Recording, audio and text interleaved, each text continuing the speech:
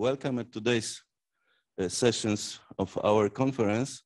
And this session will be chaired by Omid today, but before Omid, before Rod will start his second part of his lecture, I would like to say something because uh, our friends from Nencki Institute of Experimental Bi Biology, they leave today, this, they leave our conference, and I have, I, I want to say something about their help. So really, we are very is organized together. Should express my, my big Jakub Włodarczyk, because it is his group who this conference and also to success of this conference.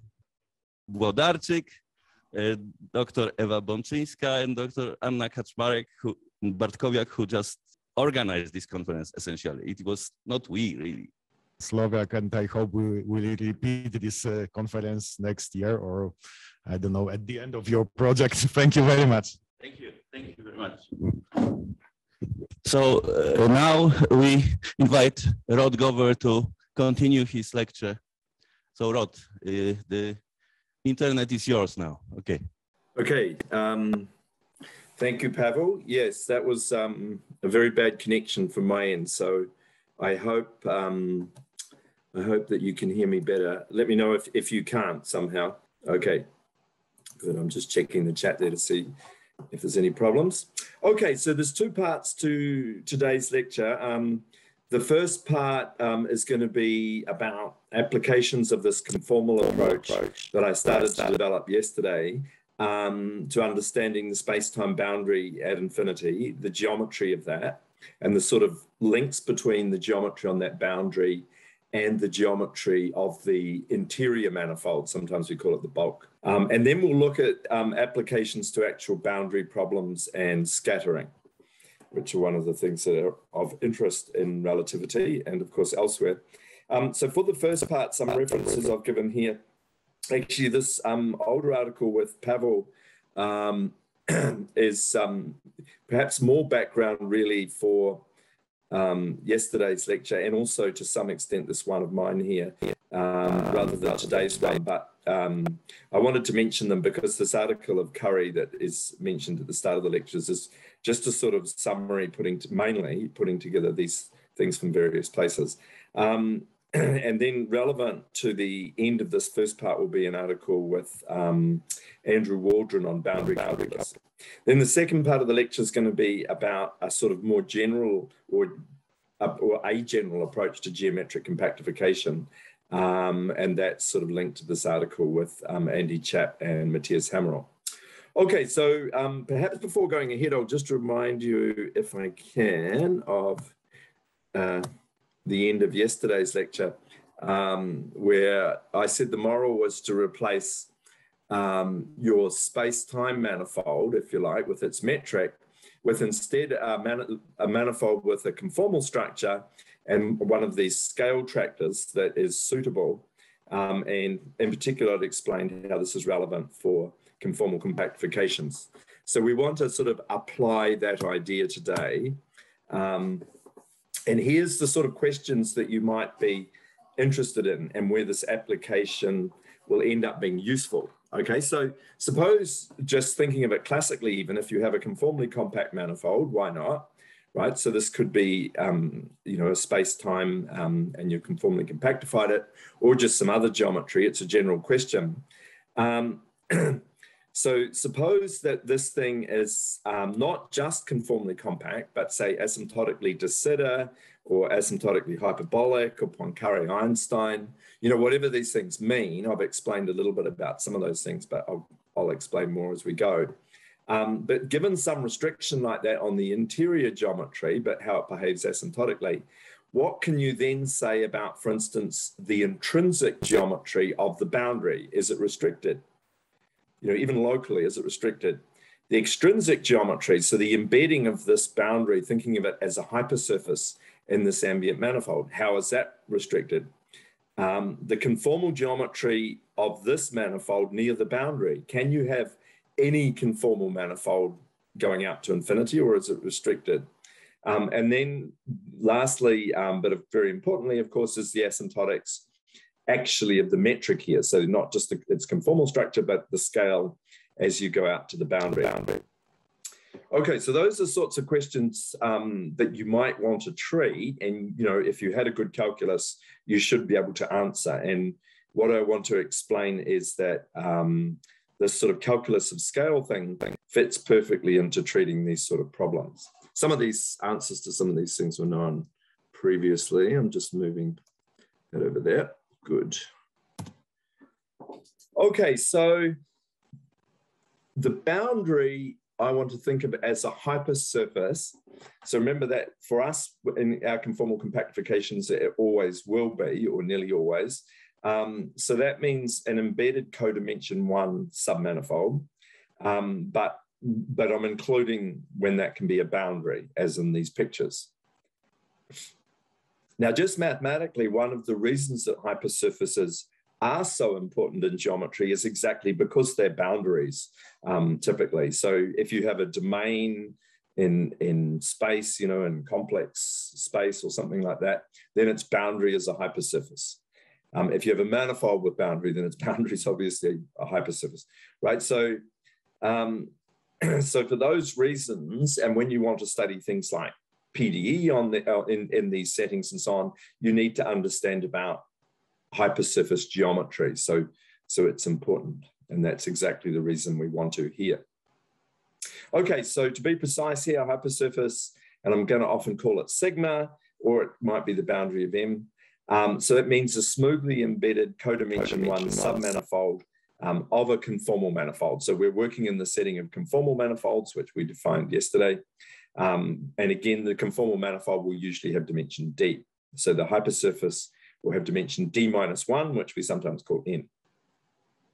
Okay, and we're going to restrict to those hypersurfaces that have the property that the co-normal field along it is nowhere null, right? So, um, so these are what you might call non-degenerate hypersurfaces. It's not that we can't handle any aspects of the other case, but this, you know, this is the simpler setting and already extremely interesting. Now, when you have that, um, so when the conormal is nowhere null, then the restriction of any metric from the conformal class gives you a metric on the hypersurface, a first fundamental form, if you like, um, and therefore its conformal class. Um, and so the conformal, the ambient conformal class is inducing a conformal class of metrics on the hypersurface, um, which I'll often call C bar. Okay, so in this context of working with hypersurfaces in conformal manifolds, it's natural to um, use conormals with a weight because we use we have the conformal metric canonically and its inverse has weight minus two. So you would like the conormal to have weight one so that so that this can be a number. So it can be unit, you know, so, so it can be a unit conormal. Um, so we would take this to be, have weight one. Okay, so that's the sort of natural setting. That's nothing new. That's well known that you should do that. Okay, so let's recall first of all some Riemannian objects. So, um, so very basic um, hypersurface invariants from Riemannian geometry. Well, I already mentioned the first fundamental form, which is just a restriction of an ambient um, metric to the to the hypersurface, which is then giving you an induced metric. That's sometimes called the first fundamental form, um, or just the induced metric. The second fundamental form um, is described in various ways, but um, one of my favorites is just to say it's the restriction of the derivative of the conormal. Um, and we're, we're, just in Riemannian geometry here initially, so that's not necessarily weighted, to um, the tensor product of the tangent space to the submanifold with itself, right? To, to T sigma cross T sigma. okay, now we, we, we're always going to think of the tangent space to the hypersurface as being a subspace um, of the ambient tangent space along the hypersurface. So, so we'll always think of T sigma sitting inside Tm um, as, as the you know, annihilator of the conormal. okay, so well, if you take the derivative um, of the conormal, now you might say, well, you know, you, to define that, really, you should extend this conormal off. So you take any any extension of this off smoothly so that you can define the derivative. But once you restrict it to um, T sigma in this way, then it doesn't matter, it doesn't depend on your choice of extension. Okay, well, that defines the second fundamental form. Um, here, the, this is the Levi-Civita connection for the metric you're working with. Um, and here's a way of, of defining it. Um, so it's, you know, you're thinking of the second fundamental form now as something that can um, take in vectors from Tm. So this is automatically um, has the property that it, it sort of projects off the, the normal part and ends up giving you something that's, you know, really a tensor on T sigma. Okay, so a formula like that. Okay, and the minus or plus just corresponds to whether the, the um, co-normal has length plus or minus one. So because we're in pseudo-Riemannian setting, um, the, the co-normal might be um, sort of space-like or time-like. And so if we're Lorentzian signature, you know, that would make good, be good terminology. Okay, well, the second fundamental form itself is not conformally invariant. So um, what, what does it do under a conformal rescaling? So what does that mean? Well, remember from yesterday that we replaced the metric with a positive function times the metric. And um, today it looks like I'm writing that positive function as the exponential of um, just an arbitrary function, two, two times omega. So the two is sort of convention. I won't go into the details of why that, but um, so omega here is just any smooth function, and then two times that is another smooth function. You take its exponential, that gives you a positive function. Okay, so that's how we're going to rescale. That's our convention. And then the second fundamental form tra transforms like this. Now, what you notice straight away is it's transforming only by its trace part, you know, so that so the trace free part of this, so here this epsilon as as in yesterday's talk is, is d of omega. I used a different way of rescaling, but it's the same epsilon. Um, so it's the exterior derivative of that function. Um, so then the, the, according to this, the trace-free part of the second fundamental form must be conformally invariant. And that's, of course, extremely well known. I don't know from when, but a long, long, long time ago. Um, so I'm putting a little zero above that to mean the trace-free part. So that's you get that by subtracting the mean curvature times, um, and here I'm taking everything weighted. So this mean curvature um, will have weight minus one. So now I'm sort of using the conformal convention. So L itself will now be coming from a, a derivative of the weight one conormal. So L will have weight one. This G has weight two. So H will have weight minus one. So that's how it works. That's the mean curvature. Um, and you can take that by taking the, the restricted metric or the first fundamental form um, inverse, but I'm actually taking the conformal version and contracting it into the second fundamental form and dividing by the dimension of this, the hypersurface, right, So d minus one. So those are the conventions. So that thing is conformally invariant. And of course, from that, you can also deduce um, how the mean curvature transforms. So let's remember that. Uh, here it is. I seem to jump jump a slide then. Okay, so from that same formula, you can deduce that the mean curvature, when you do this conforming conformal transformation, transforms like this. It picks up a little bit of um, the epsilon contracted into the conormal, or I've written it the other way around. I've raised the index using the conformal metric and contracted the, um, you know, what would then be the normal vector, weighted normal vector into the uh, epsilon of the conformal transformation. So that's how the mean curvature transforms. Um, and then an interesting observation that goes back to um, our, you know, my article with Toby Bailey and Mike Eastwood from a long, long time ago, um, is that this enables us to build along the hypersurface a tractor that, you know, this thing transforms correctly. And this is what we call the normal tractor. So it just, remember the tractors have three slots. This has zero in the top slot. You put that weighted co-normal in the middle. and then in the bottom slot, which is, was again a line bundle, um, is going to be minus this weighted mean curvature. Now, tractors have a certain way of transforming conformally, which is the hallmark of them being secretly invariant. You know, the conformal transformation is just coming from the way you split things.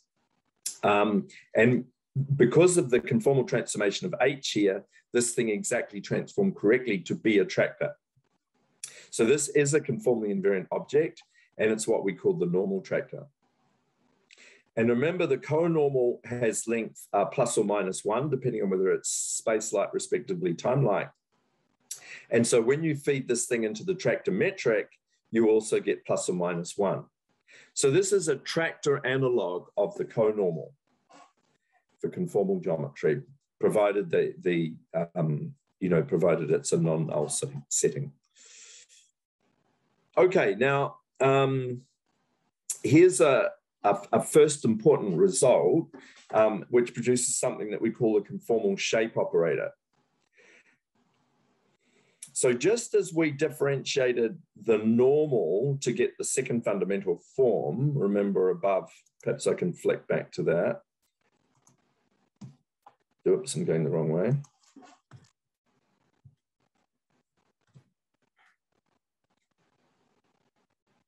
Right, so here it was. So remember the second fundamental form is the derivative of the co-normal, but then restricted um, to, to the tangent bundle to the hypersurface. So just as we do that, um, we, we can do the analogous thing of differentiating this tractor normal along the hypersurface. And so here, this nabla with a line underneath it just means the usual tractor connection, but the line underneath means we're going to restrict to directions tangent to, to sigma, to, this, to the hypersurface. Okay, well, if you just do this and use that formula for the tractor connection that I gave you yesterday, um, then it's easy to see that you get zero in the top slot, you get exactly the trace-free second fundamental form in the middle slot, and you get its divergence in the bottom slot. Now this, of course, the normal tract is conformally invariant. This is a conformally invariant operator, so this thing must be conformally invariant. Well, zero certainly is. Because it's zero there, nothing feeds into this slot, and it's correct that there should be something conformally invariant in that slot. And there is the trace-free second fundamental form. And then this divergence makes this transform correctly exactly as a tractor. So, but now what you see is that this derivative of the normal is just a sort of prolongation of the second trace-free second fundamental form. So um, you get the result that the normal, the tractor normal, or normal tractor, is parallel along um, the hypersurface exactly if and only if the trace-free second fundamental form vanishes. That's just clear from this formula. And that's what's called totally umbilic. So when you have a hypersurface whose trace-free second fundamental form vanishes, then it's called totally umbilic. It, it's sort of maximally sphere-like if that happens at each point. Okay, so that's one object that you can obviously form that, that's to do with sort of calculus of hypersurfaces. Um, so looking again to Riemannian geometry, another thing that's very important is called the, the Gauss formula. So here's the Gauss formula using the ordinary second fundamental form. So now we're just in Riemannian geometry again. So if you take the ambient Levi-Civita connection and act on a vector field tangent to your hypersurface, um, then it relates that derivative of um, to the intrinsic Levi-Civita connection. So remember, if you have a hypersurface and a Riemannian manifold and, it, and it's non non-degenerate, it doesn't have a, a null conormal, then um, it will get induced on it a metric. And so it has its own intrinsic Levi-Civita connection, and you can compare those two connections acting on this vector field that's tangent to the hypersurface. And the difference comes out to be linked to the second fundamental form again. Okay, so that's the Gauss formula. So it's, it's the failure, um, if you like, of when you take this ambient connection and differentiate the the tangent vector to the hypersurface along the hypersurface, it's the failure of it, it's measuring the failure of it to stay in the, in the hypersurface, at least this term is. Okay, well, that's the sort of basis for pseudo-Riemannian hypersurface calculus. This is one of the most important formulae. Most other things follow from it. So we want a conformal analog of that, and that will turn out to be important. Now, first you see a problem straight away when you try and extend it, because here we're using the fact that the tangent bundle to the hypersurface sits naturally inside the tangent bundle to the manifold along the hypersurface. That should be, by the way, Tm restricted to sigma, sorry. Um, so we need an analog of that. Um, okay, so what do I mean? So we have a, a, a submanifold sigma, a hypersurface sitting inside a conformal manifold, and it gets induced on a, a conformal structure. That's easy, right? So we mentioned that above. So it has its own tractor connection and, and so on. And it has and, and its own tractor bundle. but we have an ambient tractor bundle. And to get a formula similar to this Gauss formula, you would need to know how those two tractor bundles are related. You want an analog of this, this thing we used here that the, that the um, tangent bundle to the hypersurface sits inside the ambient tangent bundle. Well, actually, that works out nicely, um, and that was observed quite a long time ago um, by myself with Tom Branson. Um, and then um, I had this um, Grant was a student of mine who wrote this up sort of in a in a master's thesis, which is the, one of the places that was written down um, fairly carefully. I could explain that. But anyway, there's a, a conformally invariant isomorphism between um, the the well the intrinsic tractor bundle. So you take so you have your submanifold with its own conformal structure, this hypersurface. It has its own tangent bundle then, uh, tractor bundle. Sorry. Um, so I'm assuming here, let's say that the dimension of the ambient space is at least four to keep life simple, so that this sigma has dimension three. So um, it certainly has its usual tractor bundle and connection. Um, you can identify that with the orthogonal complement inside the ambient tractor bundle um, to the normal tractor. Okay, so the sort of most obvious thing works. So you have your ambient tractor bundle along the hypersurface, you take n perp inside there, then that can be identified with the intrinsic tractor bundle. Now, the easy way to see that is simply to, to compute in a scale and this exactly is the mapping that takes the triples that give you tractors in N perp, in the, the perp to the normal tractor, and maps them to triples in the intrinsic tractor bundle. Now, just to make sense of this, by the way, in here in the middle slot, I'm identifying um, the, the cotangent bundle, if you like, to, to sigma as a sub bundle of the ambient cotangent bundle that is the um, sub bundles of annihilators to to to the to the normal um, vector, if you like, the normal vector field or the weighted normal vector field. So the usual thing. Okay, and you can see that the mean curvature is featuring a lot here. And um, in fact, if you, you can always work along the hypersurface in a scale where the mean curvature is zero. You can arrange that. You can, you can pick a metric from the conformal class that has that property. And then the triples match up in the obvious way. And that was the, the statement that Tom Branson and I made. And, and um, it was in Grant's thesis that we put this down. It was actually a calculation I did, but it wasn't a main point of his thesis. Okay. So, so now we we have the analog of this, you know, the analog of um, the tangent bundle to the hypersurface sitting inside there. We have that the intrinsic tractor bundle, how it sits inside the ambient tractor bundle along the hypersurface, means that we can consider making a Gauss formula. So how does that work? So that's going to give us something that we'll call the tractor Gauss equation. Um, so what you see now is that we now have two connections on, on the intrinsic tractor bundle because we've now identified it with NPERP. So the two connections are we have the intrinsic tractor connection, which of course can act on that, um, and then also the projected ambient tractor connection. So this is a standard construction, what you do is you take something in NPERP, so it's something in the intrinsic tractor bundle, if you like, along the hypersurface. you differentiate with the ambient tractor connection, but in directions along the hypersurface. That's what that pi means. And then you project back to the um, NPERP using the obvious projector that you make out of the normal tractor, you know, so the Kronecker delta minus NN type thing.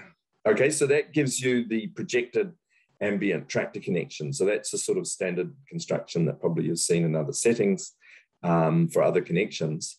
Um, so, so those are the orthogonal projections. Um, so you have that acting on the intrinsic tractor bundle when you have the intrinsic tractor connection. And the difference between those two is what are the first two terms, well, are explained by the first two terms on the right-hand side. So you see this, this projected tractor connection I'm calling nabla tilde. Well, the first two terms on the right-hand side, that are, they are giving nabla tilde. Okay, so the difference between the intrinsic tractor connection and the projected ambient one is this thing called S, um, which I'm giving a formula for here. And then the other term, which is more like the formula in the Gauss formula um, from Riemannian geometry, is involving this tractor second fundamental form or the tractor shape operator. Okay, so, so that one is measuring the failure of, this term here is measuring the failure of, of um, an intrinsic type tractor to stay intrinsic when you differentiate it with the ambient tractor connection. Okay, so you get these two terms. We already explained L, that comes from the trace-free second fundamental form, a sort of prolongation. What is S? well, S is really just um, a thing called the Fialkow tensor. So there's an invariant tractor injector that is putting the Fialkow tensor into a tractor in a sort of obvious way. I won't go into all the details of that. but so the so the so that the meaty content of this S is given by this formula here, um, which by construction better be something conformally invariant. And it sort of obviously is because it's made out of the Weyl curvature, which is the conformally invariant trace-free part of the Riemann tensor, um, and the trace-free second fundamental form, um, sort of squared with, you know, multiplied with itself, composed with itself and uh, traced. Uh, no, not traced there, just composed with itself to give a two tensor, um, and then composed and traced to give that term. Okay, so um, so this thing was already known in the literature due to Fialkow, um, and it can also be expressed as, as sort of mainly a difference between the two Schouten tensors, the ambient one and the intrinsic one, and it looks more mysterious then. Okay, so we have that basic tool. okay, so now we want to apply that to um, understand the geometry of conformal infinity, and I can see I'm going to have to go a little bit more quickly. Um, so, so now we're going to go to conformally compact geometries again, which we're understanding in terms of the scale tractor on a conformal structure. And recall the scale tractor is given by this uh, 1 over d Thomas d operator on, on the scale sigma. Um, and we want to consider, we'll specialize to the case that our um, conformally compact manifold, MCI, is asymptotically of constant non-zero scale curvature. so in other words, the scalar curvature, as you, you know, as you go to infinity is becoming constant at some rate. And in fact, mainly we'll just make it at the last minute, it's becoming constant. So um, what we will assume um, and what that will mean is that by and by imposing a constant dilation, we can in fact assume that I squared, the length squared of the scale tractor, becomes either plus or minus one as we hit the boundary at infinity. And then, and then to some, to order, some order you know, that we'll talk about. Now, when that happens, if I squared is plus or minus one, it turns out that it's either um, if it's plus one, it's either asymptotically hyperbolic, if you're saying Riemannian signature, or if in Lorentzian signature, it would be um, anti-de Sitter. Um, so asymptotically anti-de Sitter. Um, or if it's minus one, then it's asymptotically de Sitter, right? It would have to be in at least the Lorentzian signature.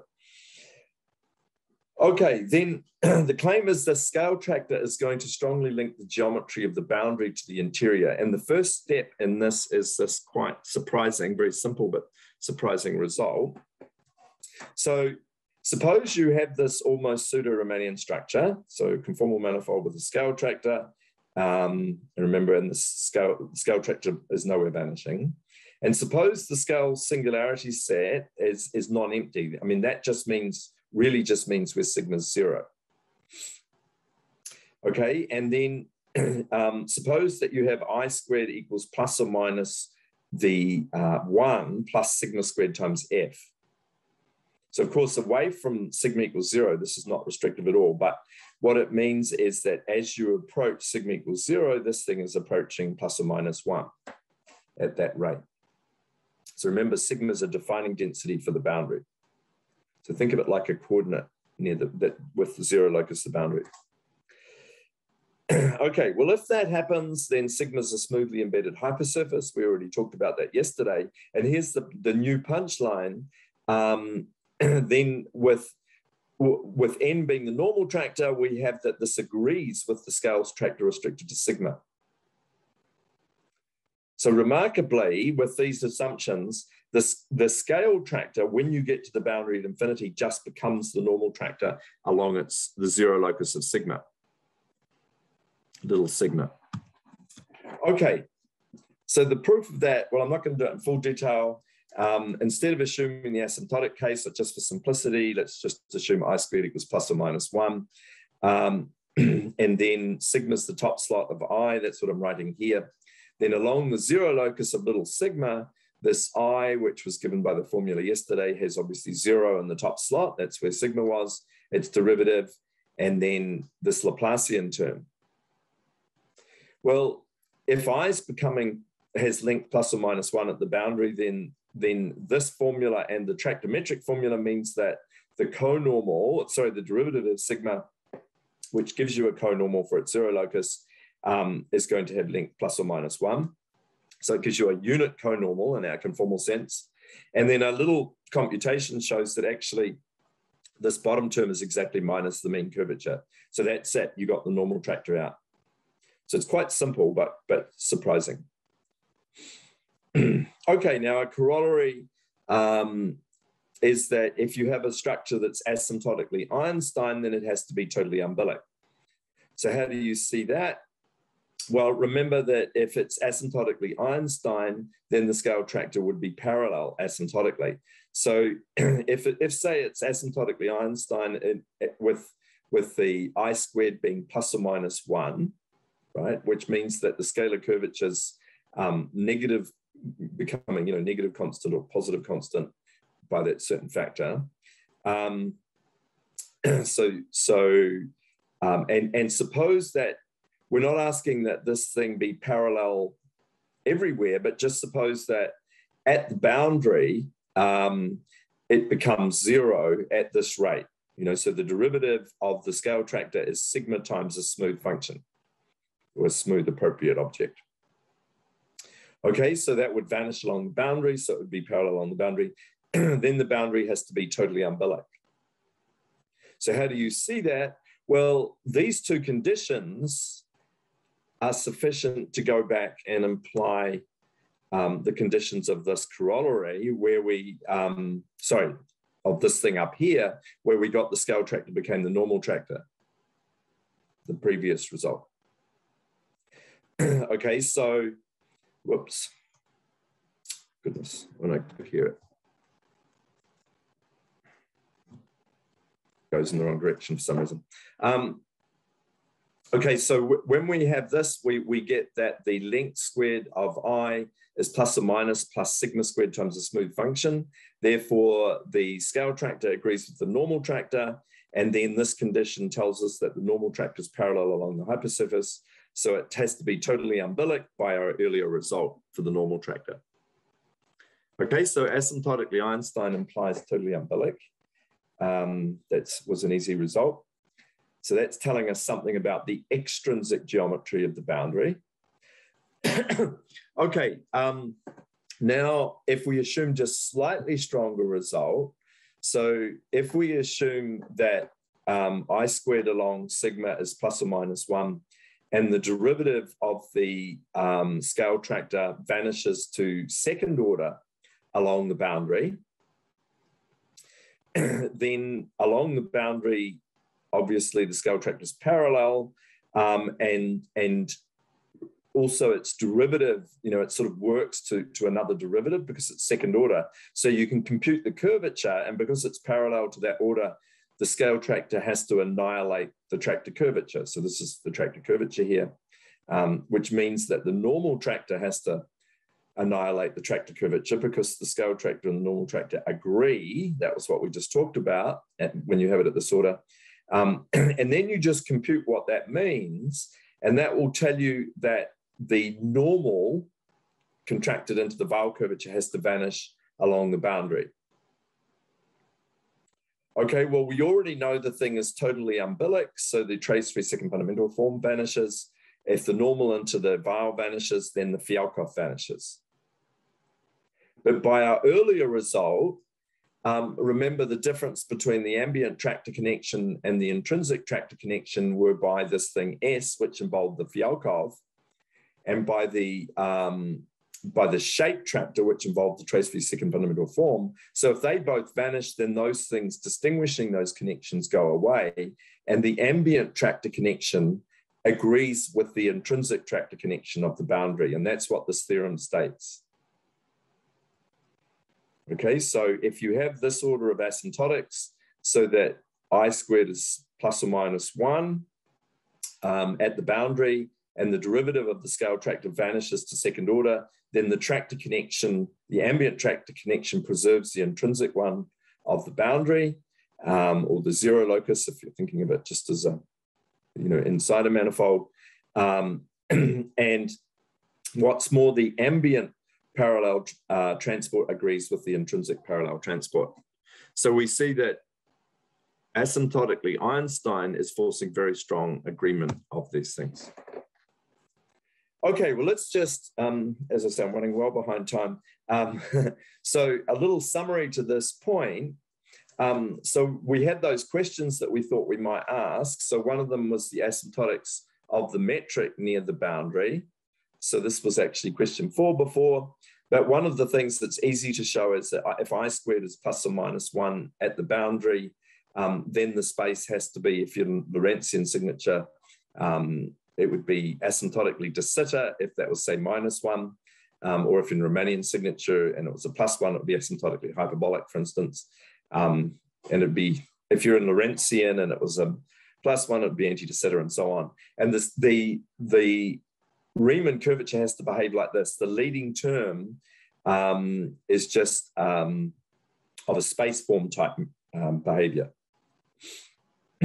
So that's why you get this result. And this, this you just get easily by looking at the conformal transformation of Riemann curvature. Now we just explained that if it's asymptotically Einstein to sufficient order that Fialkow vanishes and its trace-free second fundamental form vanishes. And actually you can continue that story in a recent article um, with Sam Blitz and Andrew Waldron discusses higher fundamental forms that also vanish them. The conformal geometry of the ambient manifold is restricted. We just observed that if it's asymptotically Einstein, the normal into the Weyl curvature has to be zero at the boundary. Okay, for instance, in dimension four Riemannian signature, that would mean that the Weyl curvature has to vanish at the boundary. So you, you do get strong restrictions. And then there's a sort of old and famous result, you know, the intrinsic geometry, this Fefferman-Graham, if you if you're if you're asymptotically Einstein to sort of high enough order, then the Fefferman-Graham obstruction tensor of the intrinsic um, manifold, uh, intrinsic boundary, if it's even dimensional, would have to vanish. So there are lots of results. And this one wasn't proved using the scale tractor um, historically, but you can do it that way. So I did that with Peterson at some stage. Okay, let's jump to scattering because I'm really getting late on time, uh, low on time. okay, suppose now that you have one of these conformally compact manifolds. And on the interior, you want to solve um, an equation like this. So this is a sort of problem that's looked a lot at in, in scattering, both in, in GR when that's the wave operator and in Riemannian geometry when that's a Laplacian. And so you're looking at, um, well, almost eigenvalues of the Laplacian. Okay, so we want to do this, but if we do this in a conformally compact manifold, the boundaries at infinity. So, what are the right Dirichlet and Neumann boundary conditions? How do you find them? well, of course, there's a big history of this. People like Melrose and his whole school studying this sort of thing. Um, and they study exactly this equation very often. And then in that context, S is called the spectral parameter. So that same equation gets written down, um, you know, sort of not just in the context of conformal geometry, but much more generally. Now let's jump back to my idea of coupling. Remember at the end of last lecture, I said we would do this. So we have the scale tractor. We're on an almost uh, pseudo-Riemannian manifold. So we have the scale tractor. Um, you can couple that to the Thomas D. Remember also I said there was the second order Thomas D operator. I'm circling it down here. Um, so you can couple it in the obvious way. It's just a sort of standard Lego move that you contract those two indices together. So this will act on any weighted tractor bundle by its construction. It'll be sort of invariant once you've picked the scale tractor. Um, so it'll be conformally invariant once you've fixed your scale tractor, um, and it'll lower weight by one. So what's it look like? Well, if you just write it out in general, it looks like a big mess. So here it is expanded out. It's got a Laplacian, it's got some first order terms and some zero order terms here and here. Um, so it just it actually looks pretty ugly and looks like it won't be useful. But actually, if you write it where the metric, you know, where you actually have a metric, so where sigma doesn't vanish, and you use those um, sigma to trivialize densities, then this thing exactly picks up that operator we were just talking about that, that, you, that people study in scattering. Okay, so I dot D just picks up that thing. I sometimes call it scattering Laplacian, but you know, it's it, as I say, it can be a wave operator if you're in Lorentzian signature. and in particular, people look at it in the case, especially when um, the thing has constant scalar curvature, and you can see then that this actually becomes this formula, which you'll see in all sorts of scattering papers. So this is like the most common thing that people are studying in scattering almost. Okay, um, so solutions of this are going to be some sort of eigenvectors of the Laplacian. You know, you have to say what you mean by boundary conditions when you say that, um, and it's used in scattering theories. So that's what happens on the interior away from the boundary. What happens to this operator I dot D that's giving that thing? Um, what happens on the boundary? Well, where sigma zero, this thing actually degenerates to a first order operator because remember there was actually a sigma in front of the Laplacian. So where sigma is zero, you can't just say I'm trivializing densities using sigma. And this thing degenerates to a first order operator, but it gives you another famous thing, namely the conformal Robin operator. So this is a conformally invariant boundary operator. So overall, I dot D is a sort of degenerate Laplacian. Now, it then turns out to satisfy remarkable algebra. So um, if you have a conformal structure of dimension d at least three, that's all we need for the current stuff, um, then a direct computation shows that this i dot d operator, which remember was a big mess when you write it out in general, its commutator bracket with sigma, that the scale, you know, the, this generalized scale, is just the length squared of a scale tractor times this sort of weight operator, which is the dimension plus two times the, the usual weight operator. So if you just make the assumption that I squared doesn't vanish, so this is asking that the generalized scalar curvature doesn't vanish, then this actually gives you an SL2. So you make sigma x, you make I dot D, or at least this multiple of it, Y, and then you get the usual SL2 generators that people, you know, that you usually write down. so remarkably, this really horrible operator, you know, initially looked what looked like a horrible operator, um, gives you a very beautiful Lie algebra with, with sigma, SL2. Now that's important because we can use it to apply it to boundary problems. So, um, so first of all, you can construct, you can recover sort of GJMS type operators. So let's observe that. So take operators which are basically powers of I dot D. Okay, well, modified by this one over minus one over I squared. So remember here, I squared is not necessarily constant. So this minus one over I squared I dot D is really a very complicated object if you expand it all out. But nevertheless, that's the thing that was part of the SL2. So take its kth power um, and then apply that at a suitable weight. And on the boundary, it gives you um, a tangential operator. so, so if you take that power of I dot D, um, apply it to tractors of a suitable weight, and then do this along the boundary, then it will actually give you an operator that takes these boundary tractors to boundary attractors. Okay, so this is what it's saying here. So it takes these this tract is restricted to the boundary to tract is restricted to the boundary because it actually is tangential. So when you take this weight and that power of that thing, it, it, it differentiates. It turns out to be what's called a tangential operator. So in a sense, it just differentiates in directions along the hypersurface. Now, the proof of that, this uses the, the same idea from the GJMS paper that it uses the SL2. Um, this operator PK is YK in the language of the SL2, um, and you have standard SL2 identity. So you just look at this thing operating on a, on a function f, which you think of as being along the boundary but extended off a little bit, and you try adding um, sigma times another function where the only rule is that you know you end up with something with a well-defined weight, which is k minus n over 2 still. Um, and then this SL2 relation means that this yk just commutes with the x so that it didn't depend actually, once you restrict back to the hypersurface, on how you extended it off by this h.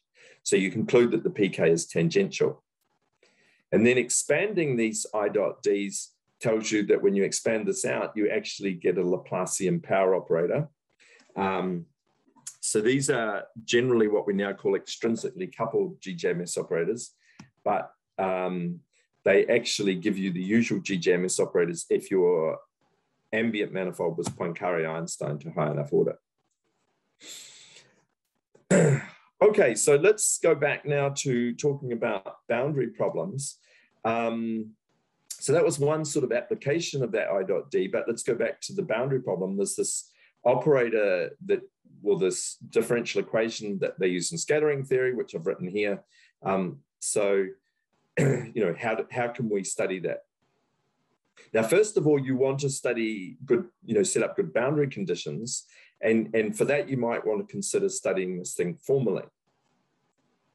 So we will do that. So we want to study this equation formally, and we're going to use again that we have this SL2. Okay, so here's a sort of formal problem. Given um, a density on the boundary and an arbitrary extension of this um, into the interior, um, so that it still has weight W naught, right? So in other words, this could be a tractor or a, um, just a density. That's what the phi means. It could be a tractor. And then you're extending it off so it has a well-defined weight. Try, try a sort of formal expansion so that you can solve this I dot D problem to some order, right? And you want that to be as high as possible. That's what it means to solve the problem formally. Okay, well, because um, we have this SL2, we can recast it that way. We have these SL2 identities again. you can just solve this inductively. So um, you suppose that you've solved it up to, you know, I'm circling down here, you suppose that you've solved it up to order x to the L, so y FL equals order x to the L, and you want to get L plus one, you just use the SL2 to see that you can you can do that. So the the the the y hits the next power of sigma, you know, so it'll be up here, it'll hit this power of sigma times FL plus one and it gives you this number. So provided this number is not zero, you can solve the problem um, and, and make it to the next order. So I guess that should be, uh, that should have been an OL plus two there. My apologies. okay, so, um, oh no, no, no, so it's, it's correct. Okay, so, um, well, so then it's obvious provided L is not equal to H naught minus two, you can solve this. H naught is just, um, you know, what happens when this weight operator H hits this F. So it's sort of D plus 2 W naught or W naught's the weight of it and so on. Um, so this is just an obvious way of solving it using the SL2. So it's first of all remarkable that mainly you can. And of course, you're going to hit an obstruction um, when you have that, um, when you hit that weight um, where you can no longer solve it. And then once again, by a sort of well-known procedure, that that gives you the obstruction to solving it further, but, but it actually recovers these um, extrinsic Laplacian operators I was talking about before. So, um, so provided W naught is never K minus N over two, you can just solve that problem to all orders and you can even give formulae for the asymptotic solutions to all orders.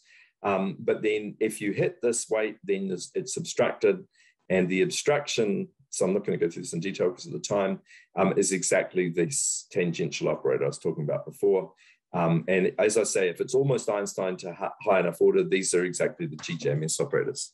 So there's some dimension parity sort of changing how that looks. Okay, well, I'm going way too fast and I'm not going to be able to do the second part of my talk, I think. okay, um, what about solutions? So that was one type of solution where we started off, um, so just to go back, we started off with it, just obvious sort of Dirichlet data, F naught plus sigma times that and so on extended formulae. So another thing you can do is take a power of sigma times F and have an expansion like that. So this is something else that's looked at in scattering solutions like this. So if you apply the SL2 to this, you see that when you hit this with Y, this alpha, when it hits the sigma to the alpha, that will have nothing to cancel against. So you'll get no solution um, except for two cases, right? So, well, th this is the problem. How do we solve it for that?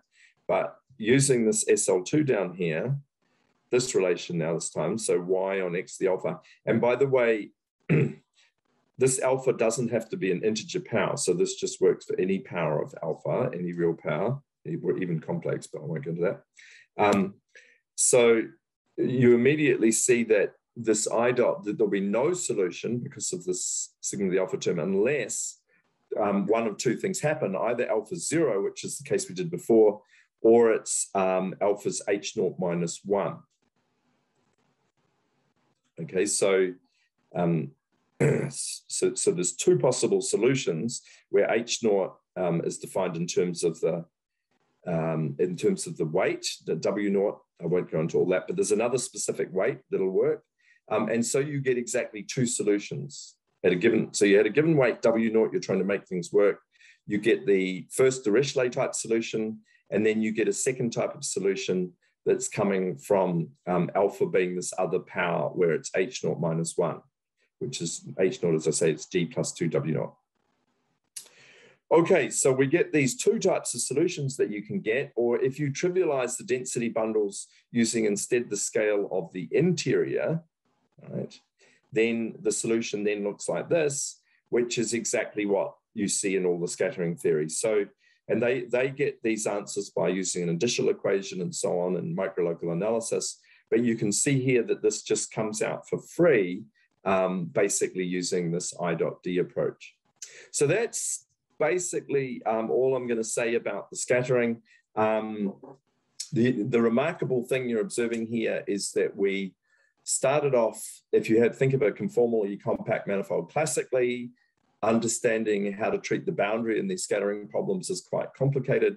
But at least you see that if you use the scale tractor, then a lot of these things are just in a sense become um, well, I would say massively simpler. so, so, so many of these things we've recovered, uh, um, you know, results of whole papers and various things. So, so, but they come out very simply. So it's it's a nice sort of one package for doing all that. And I would say that for those of you looking at problems, there's lots of scope to, to use this for other sorts of problems. So linked to scattering and so on. Um, you, you know, other equations other than the wave operator. Okay, well, um, part two I think, um, I guess I started a little bit late, so I'll say just a couple of words about it, but I'll probably have to mainly talk about that at the start of the next talk.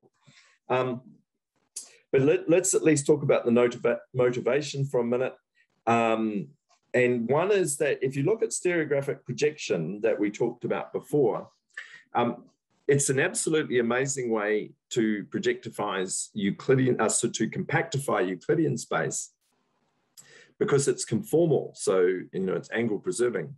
But actually, it's a very bad compactification for some applications. For instance, for representation theory of the Euclidean group, it's not very useful because the Euclidean group acts on Euclidean space, of course, and this mapping gives you an action of it on the sphere, which then extends to the compactification. But but the Euclidean group just acts trivially on the compactification because it's one point, right? So, so the Euclidean group gives you no information on that point. So this, and then in scattering, it's similar. In scattering, you would like a proper boundary because you want to take data on the boundary and extend it off and then, you know, solving some problem and then take the sort of Neumann data of it. Um, but if you've got no boundary, you can't really do that. So this is a bad compactification for some things. And this is a sort of, um, a sort of um, um, um motivation to start looking at other ideas, perhaps. Okay, so, so you know, what I'm going to talk about in this thing, and I'm just jumping ahead, is that when we when we revisit conformal compactification, so here's the um, sort of standard picture of the compactification of hyperbolic space. Here's Escher's version of it with fish, um, or otherwise, um, here's the Poincare ball model. So this um, here, dx squared, this summed up, this is the usual dot product. And then if you conformally transform it in this way, so this is 4 over 1 minus, so this is x dotted with itself, x is just your position.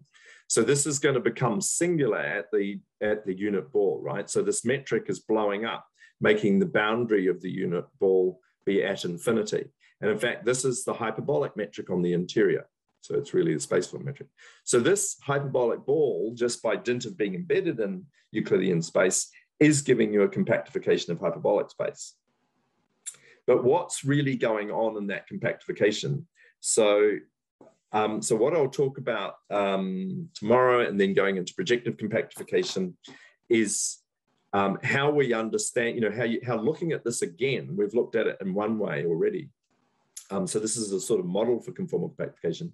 But if we look at this again, we'll see that we can understand this in terms of Lie groups, and that will tell us a way to make curve versions rather more generally, um, including projective compactification, which is what I'll talk about.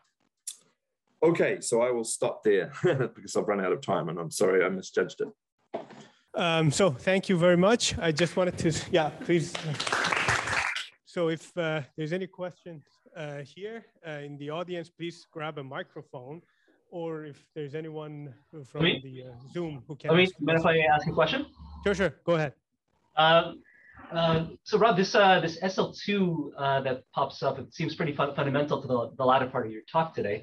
Um, yeah. I was wondering if the if there are similar SL2s popping up in in like in CR or in projective or and like is there a broader con conceptual picture like predicting the existence of such uh, nice SL2s to work with?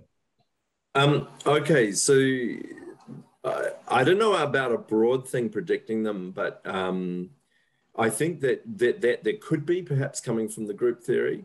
Um, I have I have thought about thinking about that, but I haven't really done it. But certainly in projective geometry, it does work. So I will mention that perhaps at the end of next one. Um, and I have a student here who's written it out and also a student um, who visited here, um, and we discussed it a bit here, and he's written it in his thesis. Is Jack Borthwick um, at the University of Brest has also sort of identify that. So in projective geometry, you get a similar SLT2 turning up, um, and of course in suitable CR situations, I'm pretty sure that you'll get one as well. So, um, so I do think it's a uh, fairly universal phenomena and and even that that, that that that there will be more complicated algebras sitting around i imagine right? So thanks. um graded Lie algebras and so on. Yeah. Thanks. any other questions right if not let's thank rod again